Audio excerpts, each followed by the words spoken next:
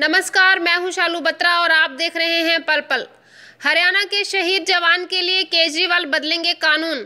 हरियाणा के शहीद जवान को केजरीवाल सरकार देगी एक करोड़ व परिवार को सरकारी नौकरी। शहीद नरेंद्र सिंह के परिवार से मिलने पहुँचे दिल्ली मुख्यमंत्री अरविंद केजरीवाल। मुख्यमंत्री अरविंद केजरीवाल ने कहा कि प्रधानमंत्री मोदी ने कहा था कि पाकिस्तान के साथ लव लेटर लिखना बंद करो तो क्या पाकिस्तान के साथ केक काटकर देश के शहीदों का सम्मान करेंगे। केंद्र सरकार बेबस नज़र आ रही है। क्यों चुप हैं प्रधानमंत्री? केजरीवाल ने कहा, शहीद नरेंद्र के साथ पाकिस्तान ने जो बर्बरतापूर्ण व्यवहार किया है, उसका बदला हर हाल में लेना चाहिए। और शहीद एक प्रदेश का नहीं, बल्कि पूरे देश का होता है।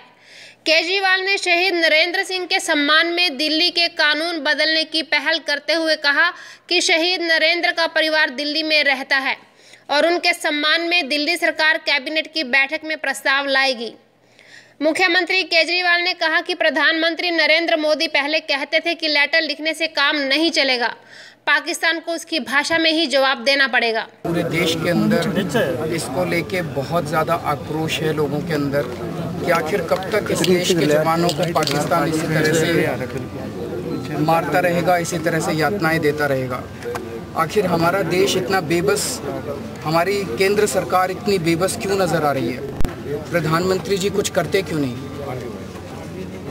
प्रधानमंत्री बनने के पहले वो कई बातें किया करते थे। वो कहते थे, लव लेटर लिखने से काम नहीं चलेगा। वो कहते थे कि पाकिस्तान को उसकी भाषा में जवाब देना पड़ेगा। तो दीजिए ना, लव लेटर लिखने से काम नहीं चलेगा तो उनके बर्थडे में केक जाके काटने से काम थोड़ी चलेगा।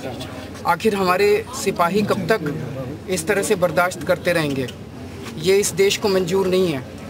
हम लोग एक्शन चाहते हैं। हम लोग केवल भाषणबाजी नहीं चाहते।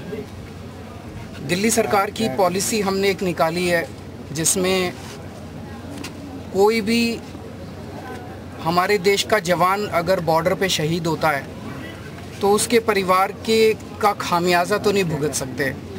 उसकी जो शहादत है, उसका देश हमेशा ऋणी रहेगा। लेकिन सरकार एक करोड़ रुपए की सम्मान राशि उसके परिवार को देती है। उस पॉलिसी में ये लिखा है कि जब वो जवान ने नौकरी ज्वाइन की थी, उसमें उस वक्त उसका परमानेंट एड्रेस अगर दिल्ली हो, तब ये उसको दिया जाता है। इस केस में इन्होंने बता रहे थे कि 1988 में शायद ज्वाइन की थी। तब उनका एड्रेस हरियाणा था। लेकिन हम मंगलवार को दिल्ली में कैबिनेट की मीटिंग बुला के इस रूल को बदलेंगे क्योंकि इस रूल में कमी है। दिल्ली के अंदर बहुत सारे ऐसे लोग हैं जो कि बाद में आ के बसते हैं। तो इस रूल को हम बदलेंगे और चेंजेस इस तरह से लाएँगे ताकि नरेंद्र सिंह जी की ये जो शहादत है ये भी इस पॉलिसी के तहत आ सके। तो मंगलवार को इस पॉलिसी को बदल के हम इस परिवार को एक करोड़ रुपए की सम्मान राशि और इनके परिवार से एक व्यक्ति को नौकरी दिल्ली सरकार में ये हम दिलाने का प्रयत्न करेंगे। इनके, इन, नरेंद्र सिंह जी ने जो शहादत दी है, हम उनको नमन करते हैं।